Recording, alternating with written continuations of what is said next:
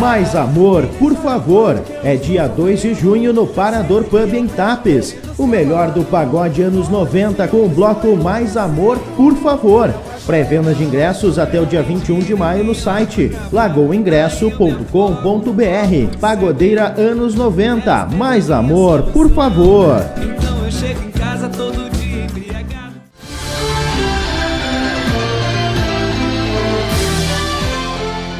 A Polícia Rodoviária Federal está monitorando desde a madrugada desta segunda-feira, 21 de maio, diversos pontos de protestos de caminhoneiros em todo o estado. Em Camacuã, um grupo de caminhoneiros está mobilizado próximo ao posto Sim no acesso norte ao município.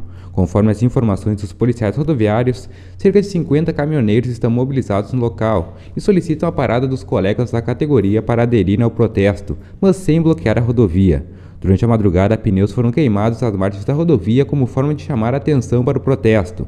A manifestação segue de forma pacífica e o principal objetivo da categoria é redução no preço do diesel, que vem prejudicando o custo do transportador. Os caminhoneiros solicitam também o apoio de outras categorias descontentes com o aumento dos combustíveis para o movimento.